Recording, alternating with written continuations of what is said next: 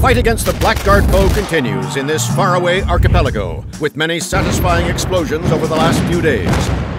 We have reports of an heroic push by new recruit, Private Bullit, here seen taking on 56 boom cannons single handedly. As Commander Leo Coach put it, that is crazy, I told ya, crying and laughing face. Many others had this to say rice cakes, with Nauticus Nauicus going so far as to say Risa Cax, our feelings precisely.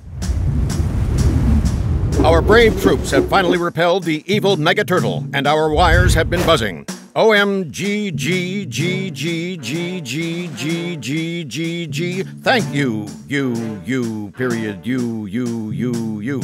Ten, I think they're kiss faces, said JUCR 13. Some, sadly, are suffering from post turtle stress disorder. Hi, I need help, please. Can you help me? Please, please, said Arts Arabic.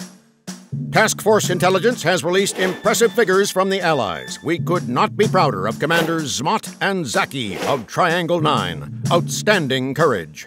Many troops were, however, lost to that nightmare ectotherm.